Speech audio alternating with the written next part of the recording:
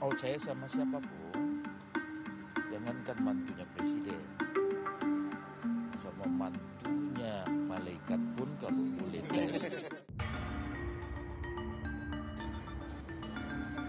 Muhammad Bobi Afif Nasution menerima surat tugas sebagai bakal calon gubernur Sumatera Utara dari Ketua DPW PAN Syah Afandin, mewakili pengurus DPP PAN di Aula DPW PAN Sumut Jalan Seilepan Medan. Surat tugas diberikan setelah Bobi menyerahkan formulir pendaftaran sebagai syarat pada tahapan penjaringan. Surat tugas dari PAN merupakan yang kedua diterima Bobi. Setelah sebelumnya Bobi menerima surat tugas dari Partai Golkar yang diserahkan Ketua DPP Golkar Erlangga Hartarto. Kedatangan Bobi ke PAN juga ditemani pengurus Partai Gerindra setelah Bobi diterima sebagai kader Partai Gerindra. Bobi menyatakan dirinya mengikuti semua tahapan pencalonan yang diminta partai politik. Dirinya juga masih belum mendapatkan surat dukungan resmi dari pengurus partai politik yang akan digunakan untuk mendaftar ke KPU. Mudah-mudahan tadi harapan kita ya apa yang ditugaskan kepada kita hari ini dan apabila uh, harapan yang diberikan pada kita untuk menjadi calon gubernur mudah-mudahan bisa kita penuhi. PAN menilai menantu Presiden Jokowi layak diusung bakal calon gubernur Sumatera Utara karena prestasinya dalam memimpin kota Medan sebagai wali kota. Kemajuan kota Medan di bawah kepemimpinan Bobi menjadi bukti bagi PAN. Meski memberikan surat tugas, PAN tidak menyodorkan kadernya sebagai bakal calon wakil gubernur Sumatera Utara mendampingi Bobi untuk bertarung dalam pilkada. PAN menyerahkan pada Bobi untuk memilih wakilnya. Kita insya Allah PAN meyakini itu ada di Pak Bobi Abib Nasution yang mudah-mudahan nanti kita akan berjuang bersama. Kita juga akan kawal terus insya Allah kalau ridho Allah beliau diamanahkan menjadi gubernur Sumatera Utara. PAN akan tetap mendampingi untuk bisa memberikan kontribusi terbaik. Sementara itu pada Selasa 11 Juni 2024 lalu, mantan Gubernur Sumut Edi Rahmayadi mengaku optimis bertarung dengan menantu Presiden Bobi Nasution dalam mengikuti seleksi calon gubernur Sumatera Utara di gedung DPP Partai Kebangkitan Bangsa. Kalau tidak optimis saya tak datang ke tempat ini. Dan kita harus selalu optimis. Rakyat Indonesia kan harus optimis. Oke? Oh, menegaskan sekali lagi berarti yakin akan bertarung dengan mantunya presiden ya Pak? Oh saya sama siapa pun, jangankan mantunya presiden, sama mantunya malaikat pun kalau boleh tes, kita lawan. Sementara itu nama dari calon wakil gubernur yang akan digandeng Edi masih belum disebut. Tim Liputan CNN Indonesia.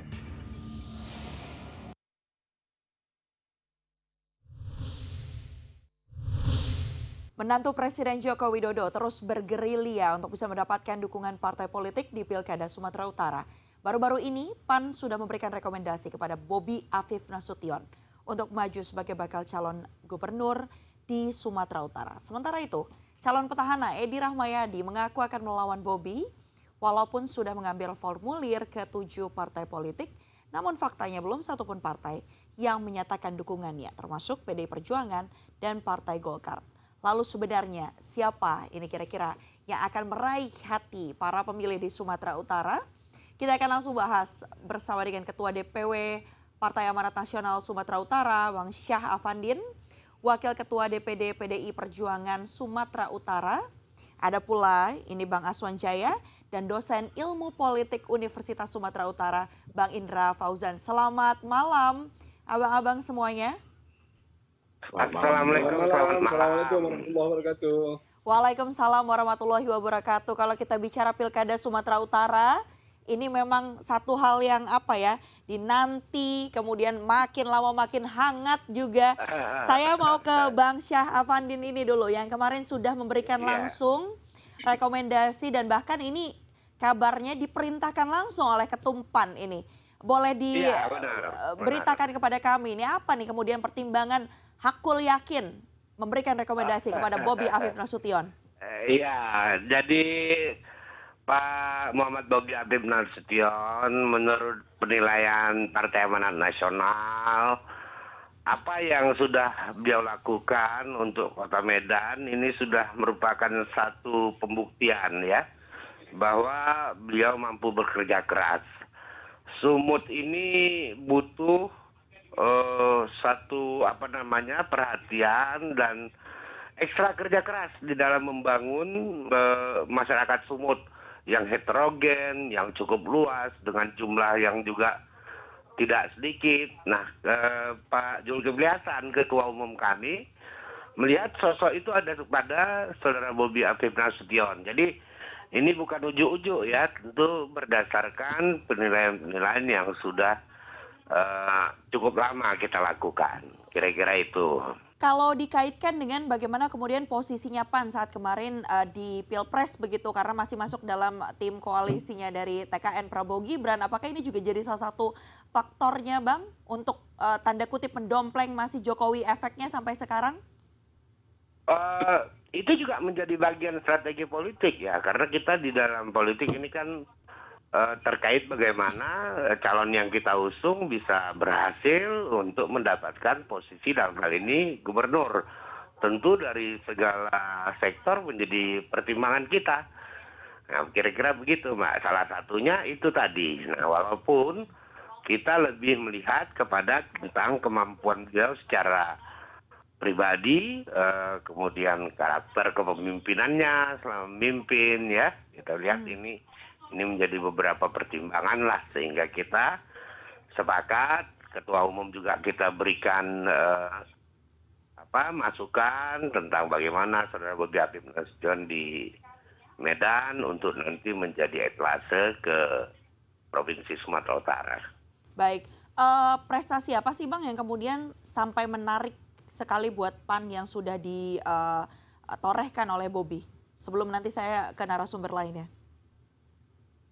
Banyak Mbak ya, kita lihat ya apa namanya, eh, tidak bisa memang case per case kita sampaikan, tapi perubahan-perubahan itu bisa secara real kita lihat penataan jalan ya, pembangunan-pembangunan di kota Medan, kemudian polarisasi kepemimpinan, ini kan menjadi apa namanya bagian yang tidak terpisahkan dari situ kita menilai bahwa beliau pantas dan sudah apa sudah mumpuni untuk menjadi gubernur di Sumatera Utara. Baik, itu tadi pertimbangan-pertimbangan dari Partai Amanat Nasional. Saya akan ke Bang Aswan Jaya dulu. Bang Aswan ini ya. yang tadi sudah kita dengarkan bersama statementnya menyampaikan jangankan menantu presiden katanya menantu malaikat juga akan dilawan oleh seorang Edi Rahmayadi. Kita tahu bulan Mei lalu uh, Edi Rahmayadi ini sudah kemudian uh, menyambangi kantor DPW PDI Perjuangan uh, sejauh ini responsnya seperti apa? Peluang untuk kemudian PDI Perjuangan mengusung uh, calon petahana ini seperti apa, Bang? Iya, terima kasih Mbak. Semua calon yang mendaftar ke PDI Perjuangan masih punya peluang yang sama sepanjang keputusan belum diambil. Ya, ada Pak Nixon, ada Pak Edi, ada Pak Berry, dan ada beberapa nama lain. Nah, hmm. sekarang ini konsentrasi eh, kami masih melihat siapa yang paling berpotensi untuk kita usung uh-huh. eh, dalam kontestasi eh, pilgub Sudan. Tentunya harapan kita eh, yang diusung itu menjadi pemenang. Uh-huh. Eh, buat PD Perjuangan memang tidak tidak punya kepentingan untuk terlalu terburu-buru uh-huh. eh, memutuskan siapa yang akan diusung karena Eh, posisinya relatif lebih aman hanya untuk sekedar mengusung. Berbeda dengan partai-partai politik yang harus berkoalisi. Bukan berarti PD Perjuangan tidak ingin berkoalisi. Mm-hmm. Komunikasi dengan beberapa partai politik terus kita lakukan juga dalam rangka kontestasi ini seperti Hanura, PKS, dan eh, PKB, serta partai-partai lainnya. Baik. Itu terus kita lakukan komunikasi itu untuk kita bersama-sama mengusung calon yang kita nilai kemudian elektabilitasnya bagus, hasil surveinya juga bagus, uh-huh. uh, uh, itulah nanti akan diusung. Situasinya saat ini kan masih sangat dinamis ya. ya. Kami uh, tetap membiarkan dulu uh, Pak Edi maupun Pak Nixon untuk terus melakukan komunikasi politik dengan berbagai pihak pemangku kepentingan dalam mengusung calon. Baik. Nanti akan kita komunikasi terus berjalan, diskusi-diskusi terus berjalan, mm-hmm. uh, dan mudah-mudahan akan menghasilkan sesuatu yang lebih baik. Bang Aswan, kalau kita kilas balik juga, ini kan uh, Pak Jarot ya, Dewan Pimpinan Ketua Dewan Pimpinan Pusat PDI Perjuangan sempat menyebut memang nama-nama seperti yang tadi disebutkan Edi Rahmayadi, Nixon ini memang masuk dalam radarnya. Selain itu, ada kader dari PDI Perjuangan juga yang menyita perhatian publik uh, Ahok begitu uh, atau BTP sekarang nama barunya Basuki Cahayapurnama. Uh, seberapa kuat kemudian kansnya untuk nanti dimajukan? Karena kita tahu biasanya PDI Perjuangan apakah kali ini juga akan mengutamakan kader internalnya untuk di Pilkada Sumut? Secara ya secara normatif eh, Pak Ahok tidak terdaftar sebagai Baik. eh, calon, Mhm. baik secara administratif maupun secara komunikasi politik. Beliau hanya dimunculkan sebagai wacana saja yang dilakukan oleh beberapa kader dan saya pikir itu eh, tidak masalah untuk dimunculkan. Mungkin saja ada nama-nama lain yang bisa saja dimunculkan eh, eh, dalam situasi-situasi tertentu. Mhm. Saya hanya mengatakan bahwa Ahok sampai saat ini tidak ada komunikasi baik dengan kami maupun dengan DPP, baik secara administrasi yaitu eh, mendaftar atau lainnya. Dan saya pikir peluang beliau eh, sampai saat ini belum belum belum dipertimbangkan untuk dipanggil ke Sumatera Utara. Dan kedua, irisan politik beliau di Sumatera Utara hampir tidak ada, sehingga saya, saya pikir kecil kemungkinan itu untuk eh, terjadi gitu. Walaupun ya dinamika politiknya tidak bisa kita bantah, bisa saja hal-hal yang tidak kita duga nah, bisa dilakukan karena ini juga eh, selalu terjadi di PD Perjuangan Sumatera Utara unpredictable last minute keputusannya itu sehingga saya tidak menafikan juga ada situasi-situasi seperti itu. Cuman konsentrasi kita bahwa mencari sosok yang bisa dihadap-hadapkan dengan tentu dengan Bobi Nasution. Mhm, mhm. Demikian. Eh, apa kemudian yang membuat Anda kemudian menyatakan statement yang barusan? Artinya sampai saat ini PDI Perjuangan menilai bahwa Bobi Nasution adalah eh, lawan terkuat begitu yang nanti akan harus dihadapi di Pilkada Sumatera Utara. Ya karena sikap politik PD Perjuangan di Sumatera Utara, aspirasi politisnya menutup pintu untuk eh, Bobi Nasution, sehingga konsekuensinya harus mencari tokoh eh, sosok yang bisa eh, berkompetisi dengan Bobi di Pilgub nanti. Seperti itu. Baik, nama-nama yang Kecuali mungkin kami masih membuka pintu untuk Bobby, mungkin kita, uh, uh, statement ini tidak keluar. Tapi Baik. karena statement ini sudah dilakukan baik oleh Sumatera Utara sendiri maupun oleh DPP juga sudah, memper, sudah menyatakan itu, maka ya statement ini ya begitu. baik. Artinya pintunya sudah ditutup bahkan sudah dikunci gitu ya. Tidak eh, memberikan lagi akses masuk terhadap Bobi Nasution. Artinya nama-nama siapa yang kemudian kalau boleh dikerucutkan setidaknya 3 sampai 5 nama yang masuk dalam radarnya PDI Perjuangan untuk berkontestasi, menantang atau melawan Bobi Nasution, Bang Aswan. Ya pertama ada Pak Edi Ramayadi, ada Mhm. Nixon Nababan, ada Pak uh, Bari Simorangkir, atau itu lalu kemudian ada nama-nama yang juga sudah kami uh, mungkin sudah kami juga lihat ada Pak Sofiantan juga, masih ada Pak Jarot juga Mhm. yang punya irisan itu. Uh, masih kita lihat juga situasinya seperti apa. Situ. Ya sekali lagi uh, kami ingin menyatakan bahwa uh, kami tidak ingin buru-buru tidak ingin emosional dalam melihat ini karena juga situasinya juga masih dinamis dan eh, semua eh, nama-nama yang kami sebutkan itu juga sedang berupaya untuk mendapatkan dukungan dari berbagai pihak. Itu yang paling penting sebenarnya. Mhm. Jadi tidak hanya posisi PD Perjuangan saja me- memberikan dukungannya, tapi eh, pihak-pihak lain atau partai politik lain tidak memberikan dukungan, itu menjadi menjadi evaluasi juga buat kami. Misalnya Pak Edi, kalau di eh, digadang-gadang atau di framing bahwa PD Perjuangan akan bersama Pak Edi. Kita akan lihat juga Pak Edi bisa berkomunikasi atau mendapatkan partai politik yang lain atau tidak. Oke, yang pasti ini masih cair ya komunikasi. pertimbangan, kan? Betul, komunikasi-komunikasi politik masih akan terus dijalin eh, baik dari para calon yang akan diusung dan juga partai politiknya. Saya mau ke Bang Indra Fauzan terlebih dahulu. Ini merupakan dosen ilmu politik dari USU. Cuaca politiknya seperti apa ini Bang di Pilkada Sumatera Utara melihat dinamika yang berjalan sejauh ini? Ya kalau kita lihat cuaca politiknya ya sebenarnya sedikit banyak sudah bisa kita prediksi ya. Mhm. Karena uh, berdasarkan data-data misalnya tadi kata data dan lain sebagainya ada dua nama yang terus mengkerucut ya uh, dan itu selalu menjadi dua besar dalam uh, survei-survei politik ya itu ada uh, Bobi Nasution dan juga Pak Edi Rahmayadi.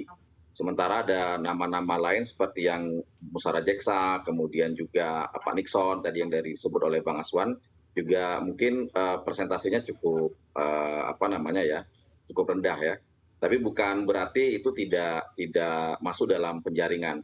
Tapi angka psikologis yang kita lihat di beberapa survei tersebut bisa menjadi referensi bagi partai-partai politik untuk melihat sejauh mana apa namanya uh, keinginan mereka ya untuk mengusung uh, kandidat-kandidat tertentu. Mm-hmm. Nah, secara spesifik kita bisa melihat bahwa uh, tadi sudah dikatakan oleh Bang Aswan Jaya juga bahwa PDIP sudah jelas tidak akan uh, sudah jelas akan berhadapan-hadapan secara langsung dengan uh, Bobi Nasution. Nah, itu mm-hmm. sudah jelas. Kemudian ini tinggal siapa yang akan diusung.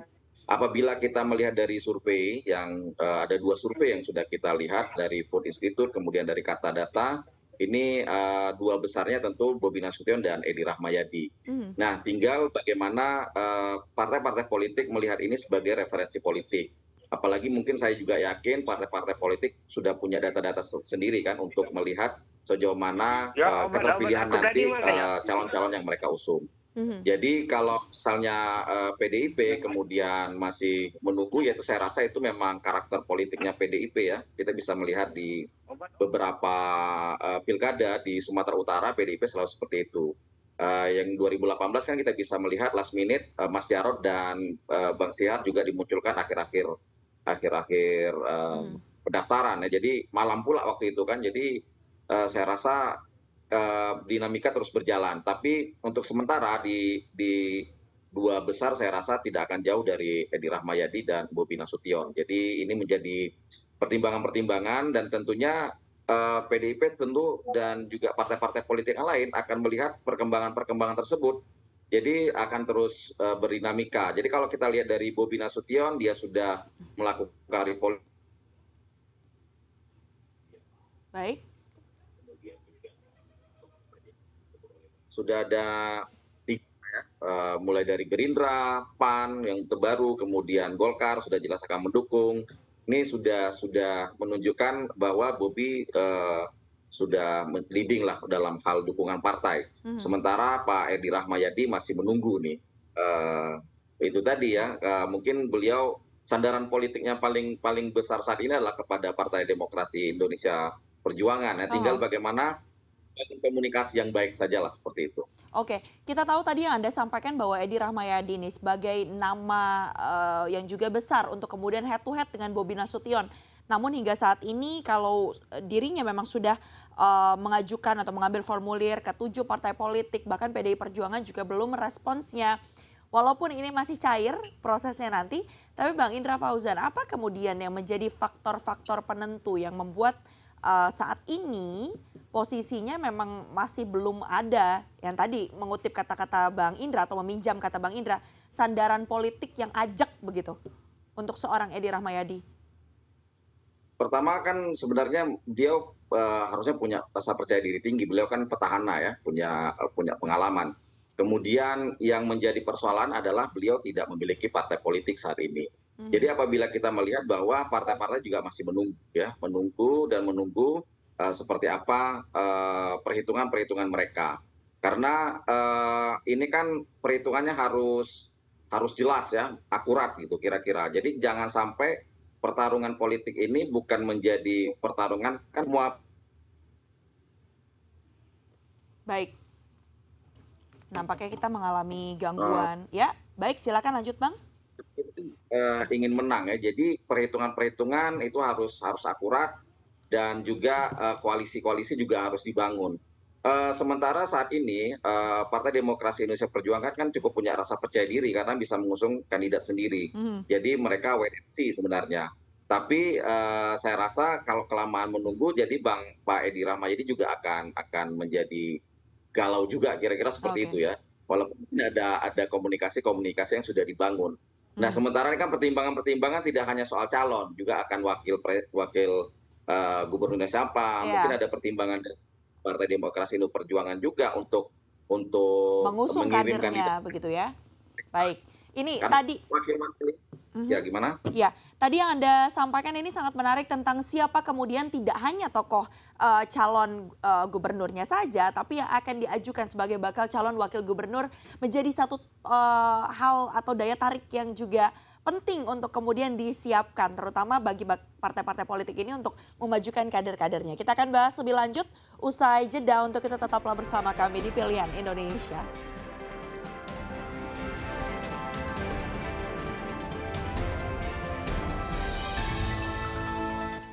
Anda masih bersama kami di Pilihan Indonesia dan kami akan lanjutkan dialog hari ini terkait dengan kondisi atau uh, bagaimana dinamika politik jelang Pilkada Sumatera Utara.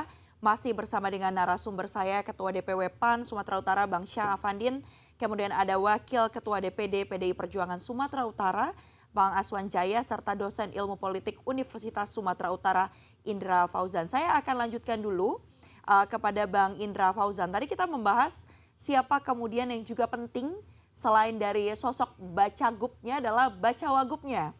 Kalau melihat kondisi uh, cuaca yang tadi disebutkan di Pilkada Sumatera Utara, sosok-sosok seperti apa yang kemudian bisa kemudian menguntungkan partai politik dan bisa menarik hati rakyat begitu dalam Pilkada Sumatera Utara? Siapa-siapa saja nama penting, nama kunci dan karakter-karakter kunci yang bisa kemudian ditempatkan oleh parpol? Ya, kalau di Sumatera Utara ini kan eh, dinamikanya kadang berbeda ya, sangat berbeda mungkin dengan di Jawa dan lain sebagainya. Ini bisa kita lihat dari dari karakter masyarakat secara sosiologis maupun secara antropologis.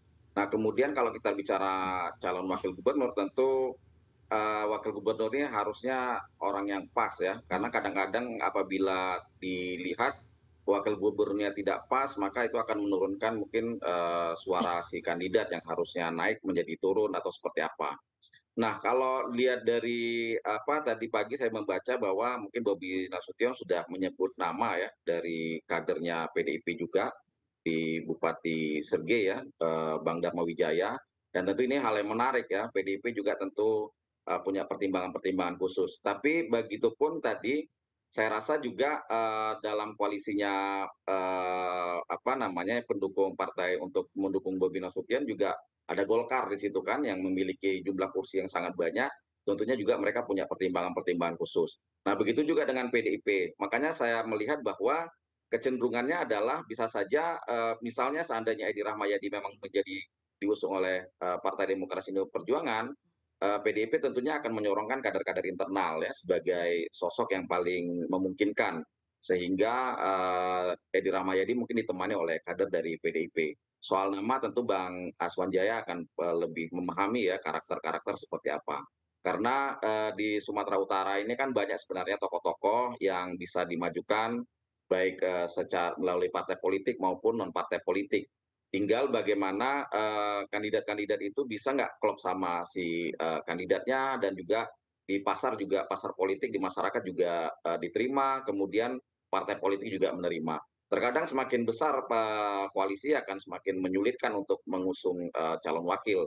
Tapi mungkin ketika nama-nama sudah diusung, kemudian hasil survei internal juga mungkin sudah memunculkan nama-nama, maka itu akan lebih lebih mudah. Tinggal bagaimana ko- komunikasinya. Nah, tadi menarik, maka saya bilang menarik apabila memang eh, dari Bupati Sergei tadi mau ditarik menjadi wakilnya eh, Pak Bobi Nasution ini menjadi sesuatu yang menambah bumbu ya, menambah bumbu politik di eh, Pilgubsu ini sehingga saya yakin apa namanya dinamikanya akan lebih lebih ramai nanti di menuju di tanggal 27 Agustus yang akan datang. Baik, kita ke Bang Aswan. Bang Aswan tadi sudah disenggol senggol dikit dengan Bang Indra Fauzan. Ini menjadi menarik. Eh, walaupun tadi sebenarnya Bang Aswan juga sudah bilang ya untuk eh, calon gubernurnya saja juga masih terus dibahas. Bisa saja nanti dari kader internal, bisa saja memang akan dipersiapkan kader internalnya ini untuk mendampingi sosok Edi Rahmayadi. Nanti kondisinya seperti apa? Kemungkinan yang mana yang mungkin lebih besar ini untuk menghadapi Bobby yang pintunya udah dikunci ditutup bahkan dikunci katanya. Kuncinya disimpan nih kayaknya sama Bang Aswan juga. Ya, kalau objektif ya, kita bicara objektif bahwa yang yang eh, berkompeten dan kompetitif uh, uh, untuk berhadap-hadapan dengan uh, Pak Bobi adalah Pak Edi Ramayadi. Hmm. Itu kami akui di situ. Uh, tetapi uh, kita punya juga uh, garis sepanjang masih ada kader partai yang mencalonkan, Mhm. maka itu menjadi prioritas di situ. Dan posisinya di sini ada Pak Nixon. Tapi eh, antara garis partai dengan objektivitas politiknya, ini kan harus diketemukan ini. Mhm. Sehingga dilakukanlah terlebih dahulu eh, berbagai langkah-langkah untuk melihat siapa yang paling tinggi potensinya untuk kita usung. Nah, itulah yang kami maksud tadi untuk berhati-hati juga dalam menentukan ini. Ini bukan bukan soal gagah-gagahan, bukan soal emosi-emosian. Ini enggak. Kita bicara Sumatera Utara ke depan. Itu juga harus kita pikir. Bukan soal menang kalah saja kita bicarakan ini, tapi selanjutnya seperti apa. Itu yang menjadi eh, penghambat, kalau katakan penghambat untuk tidak terburu-buru melakukan keputusan seperti itu. Waktu masih ada dua atau tiga bulan lagi se- sebelum penetapan bakal calon. Artinya Kalau mengenai, mengenai ya, Mhm. Artinya untuk PDI Perjuangan nih seperti yang sebelum-sebelumnya, last minute atau seperti apa kira-kira? belum tentu juga. Oke. Masih ada waktu satu atau dua bulan kan, belum tentu juga. Kecuali hitungannya sudah dua tiga hari mungkin saja ya. Eh, masih ada dua tiga bulan bisa saja besok atau minggu depan bisa saja ada keputusan itu eh, dilihat dari kebutuhannya. Mhm. Oke, kita masih tunggu nanti dinamikanya akan seperti apa. Eh, saya juga awalnya ingin bertanya kepada Bang Syahafandin, namun sayangnya memang sudah terputus ini ya eh, sambungan kita dengan Ketua DPW PAN Sumatera Utara, Bang Syahafandin. Dan saya ucapkan terima kasih banyak juga kepada Wakil Ketua DPD PDI Perjuangan Sumatera Utara, Bang Aswan Jaya, serta tentunya dosen ilmu politik Universitas Sumatera Utara, Indra Fauzan. Kita masih akan tunggu prosesnya seperti apa di Pilkada Sumatera Utara yang juga tentunya ditunggu oleh banyak pihak. Siapa-siapa saja yang nanti akan berkontestasi. Sabar saja ditunggu ya. Harus sabar ya, pesannya berarti dari Bang Aswan sabar. Kita tunggu seperti apa nanti. Terima kasih banyak sudah bergabung bersama kami malam hari ini. Nanti kita ngobrol-ngobrol lagi mengikuti dinamika politik yang ada. Selamat malam Bang. Malam Mbak selamat malam. Terima kasih Iya, banyak. Terima kasih. Assalamualaikum. Bang.